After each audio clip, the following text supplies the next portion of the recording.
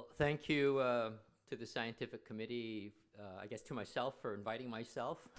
so, uh, appreciate it. It's great weather.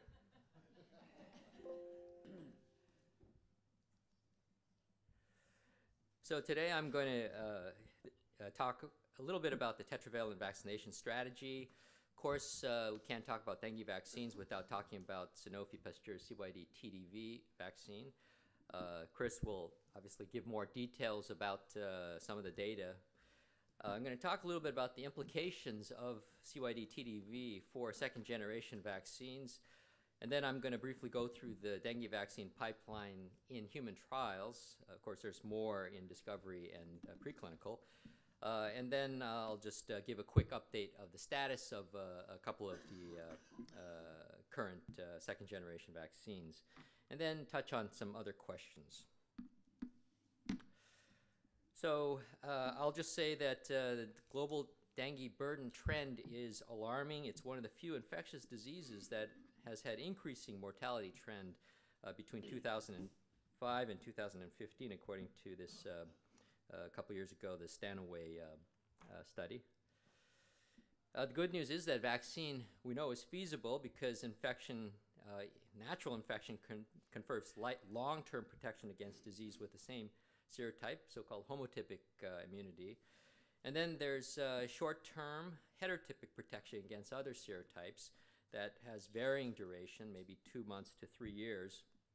And then we also know that uh, sequential uh, natural infection uh, may confer protection against severe disease by other serotypes.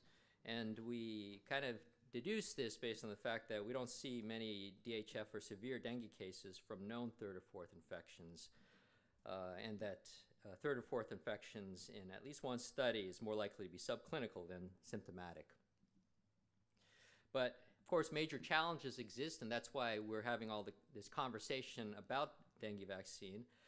Uh, and it's mainly due to the existence of these four serotypes that can interact with each other in not very clear ways at times. So it can result in protection, uh, long-term protection, or partial and or temporary protection.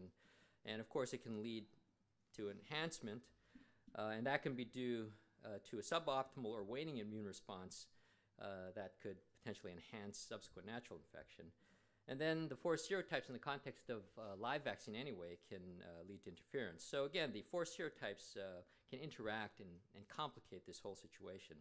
So this has led to the, um, to the general strategy for vaccination development uh, of simultaneous, simultaneous tetravalent homotypic immunity, or trying to elicit that. Uh, but we always have to keep in mind that that's not the same as uh, immunity from sequential natural infections. So uh, Sanofi Pasteur CYD TDV, or Dengvaxia is trademarked uh, is uh, tetravalent uh, vaccine that contains four chimeras with yellow fever 17D backbone and then the pre-MNE structural proteins from the four different serotypes.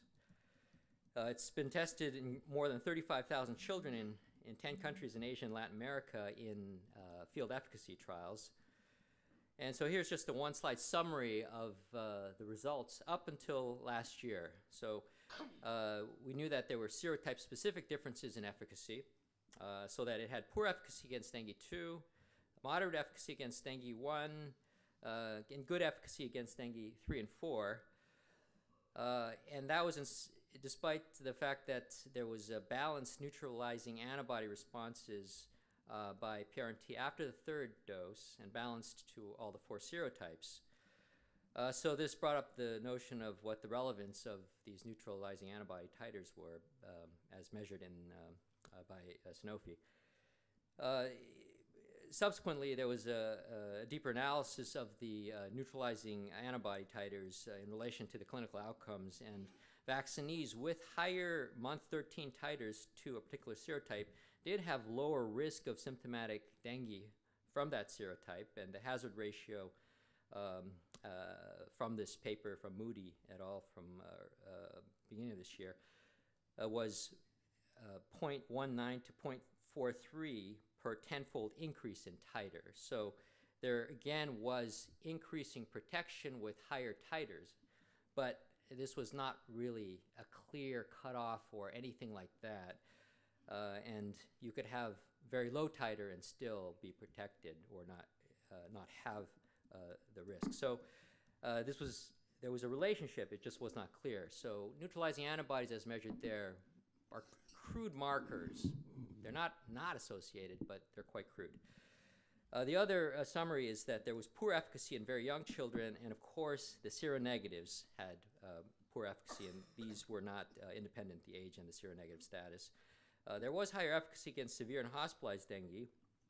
Um, and then uh, the thing that was alarming from a couple of years ago was this elevated risk of hospitalized dengue in the two to five year olds in year three. Now, subsequently, the risk uh, decreased in years four and five, so it was really uh, highest during that year three in this age group. And then at the time, it was not consistently seen in older age groups, and specifically in the, in the, in the eventual license, licensure age of greater than nine. Uh, but uh, that uh, situation was somewhat, uh, um, it was unclear because the number of seronegatives in the older subjects uh, based on the immunogenicity, the immunosubset was quite low. So there's just few numbers in which to base uh, any clear conclusions on in the older age group. Now, subsequently, because of the theoretical risks in seronegatives, uh, there was a post hoc analysis based on serostatus, and uh, that was based on this uh, new testing that was uh, dengue anti NS1 IgG ELISAs. And those were applied to month 13 samples from those phase 2b and 3 trials, and that was used to infer the baseline dengue serostatus uh, on more uh, subjects than just were actually tested directly uh, within their, the original immunosubset. So uh, based on that post hoc analysis, in seronegatives, uh, the cumulative five-year incidence of hospitalized dengue in the 2 to 16 year olds, and so that was again the whole age range from uh, the very young to the, uh, the, the, older uh, adolescents. Uh, it, was a 3% um, incidence of hospitalized dengue cumulatively in the vaccine recipients versus 1.87 in the controls with a hazard ratio of 1.75. So again, cumulatively, there was an increased risk with this whole age group of um, uh, hospitalized dengue. And then if you focus just on the 9 to 16 year olds, uh, which is the indicated age uh, during licensure, uh, it was less. The hazard ratio is 1.41, and in fact, uh, it actually um, uh, was um, uh, the lower confidence interval was less than 1. So again, this was results that was available to the WHO SAGE committee, um, but just came out a couple of weeks ago in the New England Journal. Now, that's cumulative, but uh, the actual time after vaccination, the risk is, is not the same. So this was the KM curve for the two to eight year olds. So this is the youngest age group that would was not in the lic indicated licensure age. Uh, and they're the ones that had the actual year three risk that appeared during the original analysis.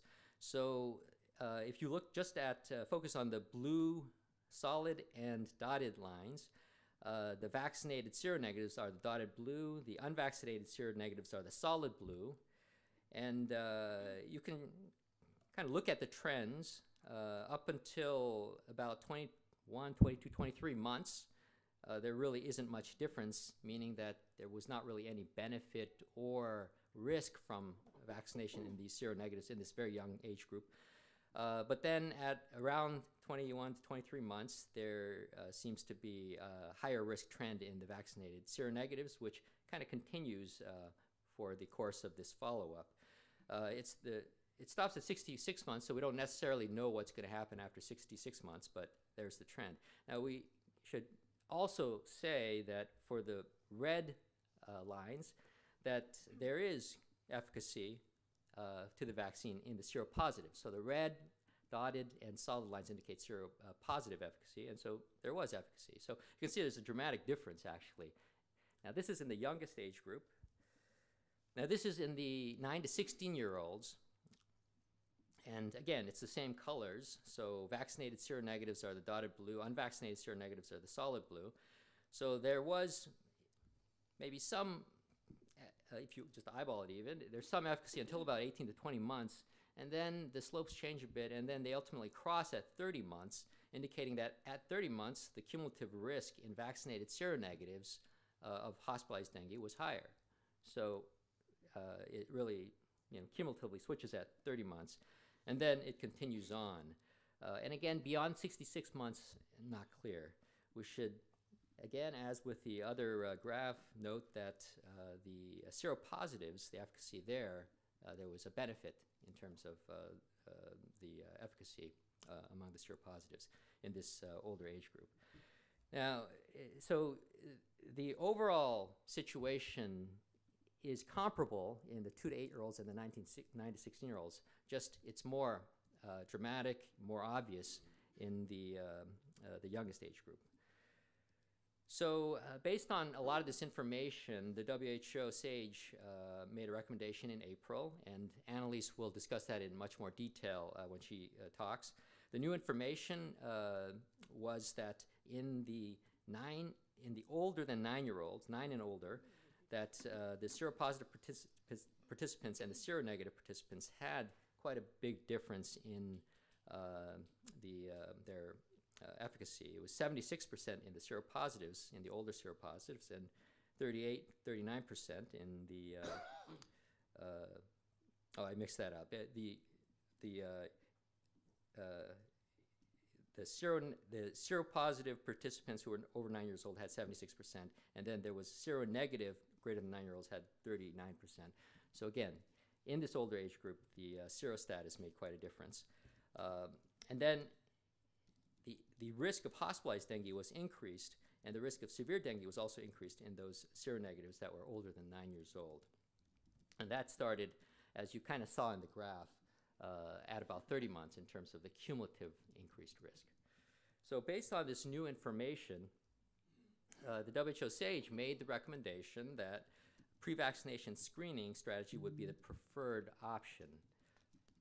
Uh, and with that, only seropositives should be vaccinated. Uh, and of course, with that recommendation, developing an accurate point of care assay for dengue serostatus would be a priority. Uh, but even with all of this, uh, no assay really can be 100% pes- specific. So, uh, no matter what assay is used, there has to be some acceptance of the fact that some truly seronegative individuals may be vaccina- vaccinated. Now, with all this information, even from the original WHO SAGE recommendation from 2016 until the revision uh, in April, uh, there was a recognition that the overall population level benefit of vaccination remained favorable in high transmission settings. So, even in the most recent revision, in areas where uh, the dengue seroprevalence uh, was 70%, uh, the overall benefit uh, over a five year period was that there are four severe cases prevented in seropositives uh, for every one excess severe case in seronegatives per 1,000 vaccinees. So if you take seronegatives and seropositives together, there is still an overall public health benefit uh, in high transmission settings. Uh, and in general, vaccines that have moderate efficacy may have high, higher public impact uh, especially for diseases that have high burden severity or economic costs, that cause frequent outbreaks, that disrupt uh, healthcare systems and cause political instability. So there are other factors also that, um, uh, for which uh, moderately effective vac vaccines uh, can actually provide benefit. And of course, dengue has some of these characteristics. But it's not really that calculus that has uh, caused the issues with uh, uh. It's really the safety concerns uh, and the discussion around the safety concerns that have uh, been true hurdle to implementation. And in terms of that, after what two years uh, of licensure in a lot of dengue endemic countries, it's only been implemented in two countries and and in subnational programs in those two countries. So this was a, an article that, that uh, a perspectives article that came with the New England Journal uh, article uh, that uh, from a couple of weeks ago that presented the Sanofi inferred results. And there's this term trolleyology, which I, I, thought was interesting. I hadn't heard too much about before, and I think maybe others might, might mention that because it's quite an interesting phenomenon. And that if you had a choice in a situation where there's some trolley that's about to hit five people, and you can switch the tracks, and in the switched track, there's one person that you would essentially kill uh, in that situation, what you would do, versus if uh, you were on a bridge over that same trolley and uh, there's some guy standing next to you and you could push that guy in front of the train to stop the train and save those five people. Is there a real difference? Well, ultimately, there really isn't. Uh, somebody dies, one person dies, and you save five people. But uh, uh, just conceptually and emotionally, it's, it's much less acceptable to push someone uh, you know, off of the bridge to stop that trolley. Now, I would say that it depends on the person, perhaps, when you're, when you're making this judgment, but for most people, you know, you, you would have a problem pushing them off. So this is the idea of utilitarianism to maximize benefit, minimize harm versus intentional harm that you know is going to happen directly. Uh, and th there was a good quote from this, uh, this article that said, and this was in the context of self-driving cars, that regulating for utilitarian algorithms may paradoxically increase casualties by postponing the adoption of a safer technology. In that, for self-driving cars, even though probably it's safer, the fact that people don't have control, that creates some difficulty just in terms of accepting that. Uh, and forcing that may actually cause a, uh, uh, a reaction that maybe is negative for the overall implementation of those self-driving cars. And so perhaps this is a, a somewhat parallel situation with uh, vaccines, where the overall benefit in, in, terms of public health uh, may be there, uh, but there may be resistance. And in the Philippines, I think this is going on right now. There's this very emotional reaction in the Philippines to uh, the situation there it, that doesn't really reflect the overall public health situation if you take it from a utilitarian standpoint. Uh, I'm going to very quickly go through the possible reasons for the CYD performance or the mixed performance. Uh, there's talk about interference after the first dose in dengue naive people.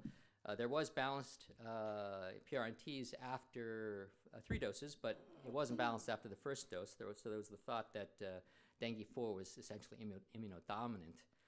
Um, and then there's a question about whether the formulation was actually um, correct if it was guided by the PRNTs that were used. So perhaps the relative serotype formulations were not appropriate. Uh, and then uh, the idea that, uh, that the, in seronegatives, in dengue naive people, that the vaccination served as a primary like infection, artificially administered, uh, leading to the first real natural infection becoming more secondary like, and of course, secondary infections are more likely to be severe. So this was uh, a, a working theory. Uh, that makes sense. Uh, it does imply, however, that the CYD-TDV behaves like a monovalent dengue vaccine, and presumably it would be due to interference, uh, as mentioned in the first bullet. Uh, there's also the idea that uh, the T-cell responses were maybe important and were not elicited because the T-cell responses are mostly to non-structural proteins and the CYD-TDV non-structural protein is yellow fever. Uh, and then uh, perhaps uh, the relevant, relevant epitopes were a little bit different in natural versus CYD. So the implications and lessons for second generation vaccines have uh, in uh, large part really been taken up already by the second generation vaccines. But uh, one of them revolves around this, what kind of immunity you're inducing. So are you inducing long-term homotypic immunity, similar to what you would be inducing with uh, same serotype homotypic uh, uh, immune response in natural infection? So long-term homotypic immunity versus transient versus long-term heterotypic immune responses. So in that context, as I mentioned, for live vaccines, interference can lead to homotypic versus heterotypic immune responses to different serotypes. Uh, and so what uh, this really means is that in the evaluation development of vaccines, uh, especially in terms of the potential for interference, uh, in live vaccines anyways, that uh, the infectivity of the vaccine serotype components uh, would it would be good to assess them early in clinical studies.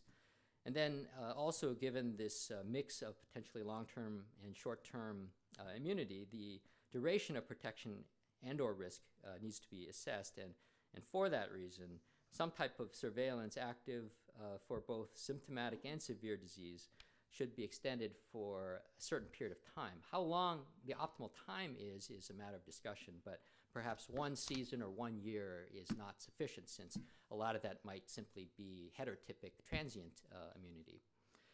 Uh, and then, of course, the, the serostatus that we talked about uh, before vaccination may be critical. So, pre-vaccination blood samples should be collected from, uh, if not all, uh, a lot of, uh, of the vaccine um, trial participants. And then analysis uh, should be done by serostatus. Uh, and then the idea about the neutralization assays that have traditionally been used, uh, those are probably not totally unrelated, but they're quite crude measures of clinically relevant outcomes. So other markers uh, that reflect uh, the longer term uh, versus shorter term or transient type of immune responses uh, should be investigated. And in the mix of that is evaluation um, and the importance potentially of conformational epitopes that have been discussed over the past uh, recent past quite a bit. Uh, and then because there could be changes in this uh, level of immunity, that there should be assessments at different time points after vaccination. And then I've already mentioned the importance or potential importance of uh, cell-mediated immunity, uh, and so that should be at least considered. Uh, and overall, the pursuit of immune correlates is perhaps become a lot more relevant right now than it was five or six years ago when the expectation was that the vaccine trial uh, would simply be uh, uh, produce good results uh, and fairly straightforward good results. Uh, and then, no matter what, at this point, anyways, clinical efficacy trials for licensure is probably necessary for whatever new vaccine does occur. Uh, but the importance of control infection models for proof of concept and down selection of, uh, of vaccine candidates uh, takes on greater importance. And then in the even longer term, other vaccine design approaches uh, are certainly worth pursuing that might avoid some of the issues that have come up uh, uh, based on the lessons from the Sanofi vaccine. So this is the uh, human dengue vaccine pipeline in human trials. And I listed them here. The, the first three are the live attenuated uh, vaccines. Uh, Dengvaxia, actually, it's, it's not really in human trials. It's already been licensed. Uh, and then Takeda and the NIH developed vaccine. the Takeda one is three chimeras and one uh, mutated. The one mutated is uh, uh, dengue 2. The other chimeras are dengue 2 backbone with uh, the structural proteins of the uh, other serotypes 1, th uh, 3, and 4. And then the NIH uh, vaccine, which uh, is the reverse in that it has one chimera and three uh, mutated components.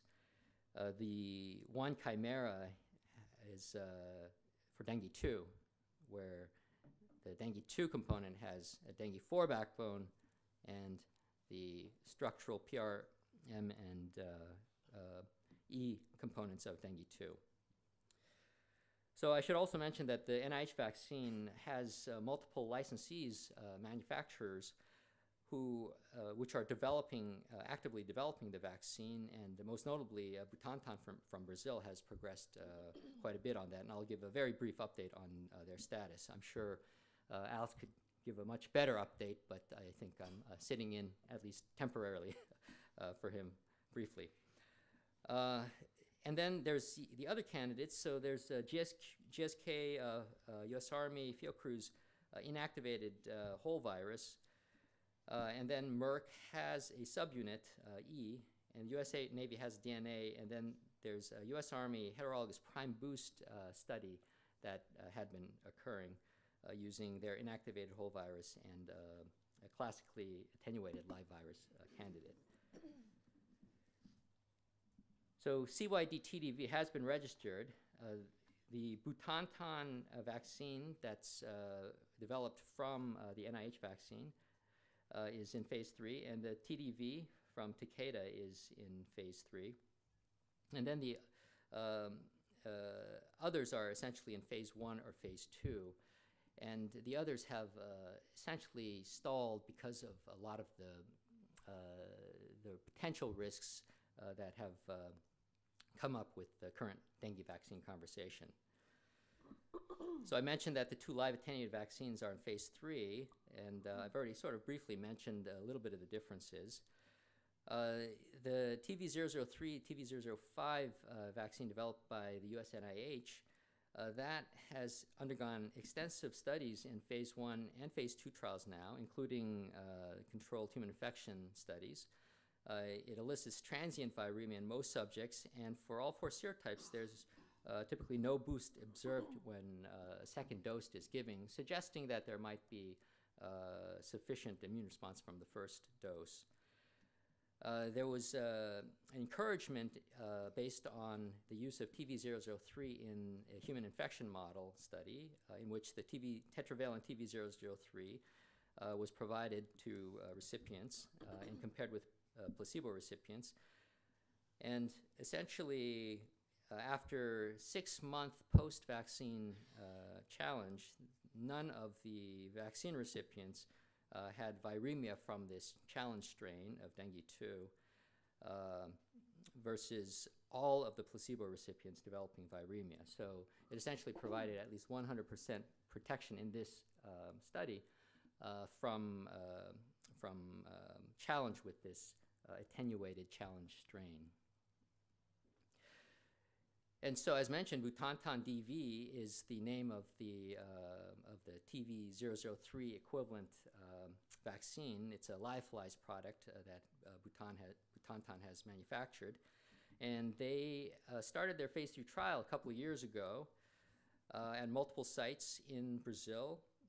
Uh, it's a single dose, so again, that's important um, for a lot of reasons. Uh, the age grouping uh, is 2 to 59 years old and um, almost 17,000 uh, in their study population. Uh, the results, as was mentioned yesterday, has, have been delayed because, or at least the preliminary results have been delayed because of the low incidence of dengue in Brazil over the past couple of seasons. So uh, by now, uh, if there had been a fair number of uh, dengue cases, then there might have been some preliminary results to actually mention. But it seems like that's going to be delayed until uh, who knows? I just said late 2019 because that's that's what I think uh, or hope might happen. Uh, but we'll see. the Takeda vaccine. as mentioned, is three out of four are chimeras and one is um, attenuated.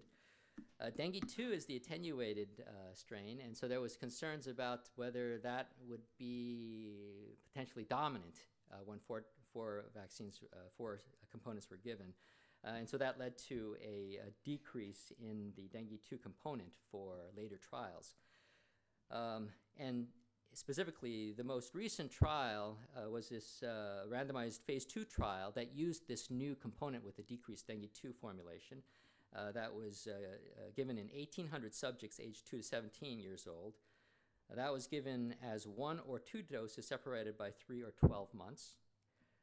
it was done in three countries, one in Asia and two in Latin America or the Caribbean. And the preliminary results from earlier this year, you know, there was obviously immunogenicity uh, results that were presented. Uh, and then they actually had enough uh, preliminary results of dengue cases uh, to have, uh, they couldn't call it efficacy because that's not what it was designed for, but the percent of virologic confirmed dengue cases uh, was significantly lower in the vaccinees than in the controls during that 18 month study period among the 1,800 subjects. So, uh, specifically, 1.3% in the vaccinees and 4.5% in the controls no further subgroup analysis in terms of serotypes, et cetera, et cetera, and this was sort of uh, early on. So this could be the equivalent of uh, the Sanofi first 25 months or so. So it's hard to know uh, exactly uh, whether to be totally encouraged by this or not, but certainly can't conclude too much.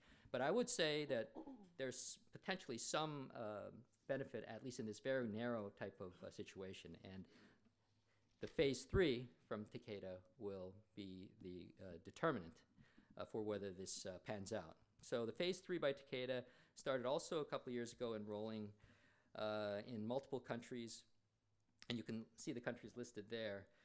Uh, the age range was 4 to 16, and that's 20,000 uh, people, so it's quite a large study. And for this study, uh, since it's spread out over multiple countries, there is sufficient attack rate in certain countries to give uh, some results, which I think are expected in early 2019. So in the not too distant future, there'll be some preliminary efficacy results coming out of this uh, Takeda phase three uh, trial. Uh, I want to just sort of mention a, a couple of other questions, not because they are definitive, but just because there's lots of other questions. So the idea of whether in the strategy of tetravalent homotypic uh, uh, uh, strategy for immunization using this tetravalent formulations, whether all four serotypes compo components are needed uh, to provide protections against all four serotypes. Uh, and this is really the equivalent of asking whether um, in the natural setting in which sequential natural infections um, may provide cross-protective immunity from severe disease against other serotypes, whether there's a sort of equivalent situation if you give uh, multiple uh, serotypes uh, simultaneously as you do with tetravalent vaccination. So this was evaluated um, by uh, Steve Whitehead and Anna, uh, Anna uh, and I just took this off of the, um, the abstract that was published in the ASTMH, um, in which they presented this. So some of you might have seen their presentation, and I think they presented subsequently. Uh, but basically, compared to what I mentioned before, where there was 100% protection against the challenge strain that was used after TV003 vaccination, that in this situation, where they gave basically three uh, uh, serotypes, dengue 1, 3, and 4, and then challenged with the dengue 2, uh, that there was not that same level of protection by any means. And uh, so the, the actual numbers, I think, were not in the abstract, uh, but they were substantially lower in terms of protection against viremia and protection against dengue boost, dengue neutralizing antibody boost by that challenge strain. Uh, so it looks like uh, simultaneous trivalent vaccination is not going to protect you from the fourth strain, at least in this controlled human infection model. Um, but uh, again, this is suggestive of uh, that uh, this may not, uh, that four serotypes will be needed for other vaccines. But again, since this is the human infection model that was used, uh, with uh, somewhat of an attenuated challenge strain. We'd have to take it with that grain of salt, but suggestive that you might need all four serotypes. Uh, and then I'll mention one other thing, which is uh, the antibodies associated with risk and protection. Uh, this was mentioned uh, yesterday by Mauricio in his, his talk. This was Eva Harris's study of her pediatric cohort in Nicaragua, and there was multiple years, over a decade of, of data. Uh, and uh, inhibition ELISA binding antibodies were measured. And so based on that uh, evaluation of those multiple years of this cohort, that it seems like there was uh, uh, different clinical risk depending on the level of the binding pre-existing uh, anti-dengue virus antibodies based on this inhibition ELISA. So that if you had uh, an ELISA titer of 1 to 21 to 1 to 80, then you had a sevenfold higher risk uh, of uh, dengue hemorrhagic fever or dengue shock syndrome. But if you had higher than that or lower than that, then your risk was, was lower. So, in other words, the binding antibodies as measured by that uh, assay was associated with both clinical risk and protection depending on the level. Um, I don't, so there was some suggestion that there might be some mechanistic aspect to this, but I'm not sure that that really is the case. You can say that there's an association, uh, but uh, I think uh, beyond that, uh, uh, there should be limited um, uh, conclusions that you can make from that. But in any case, this is analysis of data. Now, just last month, there was another study that used the long-term pediatric school-based cohorts in Thailand, in northern Thailand, that's run by the U.S. Army, And uh, in those uh, cohorts, the assays were HIs and in subsets uh, PRNTs. So this was not the inhibition ELISA, it's uh, different uh, ELISAs. But in this evaluation, it also showed that HI titers of less than 1 to 40 had a seven times greater risk uh, of, um, uh, of DHF. Uh, and then if you had higher titers or zero titers, that the risk was, was low or zero essentially. And in terms of PRNT titers, there was a similar type of uh, uh, association in that PRNT titers of less than 1 to 100 had about seven times greater risk of DHF. But if it's higher or zero, or, or lower, then the risk was, was low. In both Eva Harris' study and this study, um, the, uh, the risk was seen with DHF uh, and more severe dengue. It was not seen with uh, regular symptomatic dengue. So again, this is an association. There's no mechanistic, mechanistic types of uh, conclusions from, from these studies. It just suggests that antibodies have some relevance in these natural cohort studies. Uh, I think that the epidemiologic background also probably is going to be different. The assays used uh, and the levels used are going to be different. So I think uh, it's risky to try to uh, have specific titers uh, as conclusions for what is or is not at risk. I mentioned the pursuit of immune correlates has become more important because of this overall situation. Uh, and I would say that um, from a positive standpoint, compared to about five years ago, there's more clinically relevant data and samples on which to uh, base uh, this pursuit of immune correlates. So there's lots of now multi-year natural correlates, uh, cohort studies. I shouldn't say lots, there's a few that are very well characterized. Uh, and then there's uh, certain studies that involve dengue vaccines with clinical endpoints that also can be uh, evaluated. So the Sanofi's phase 2b and 3 trials, obviously those have clinically relevant samples.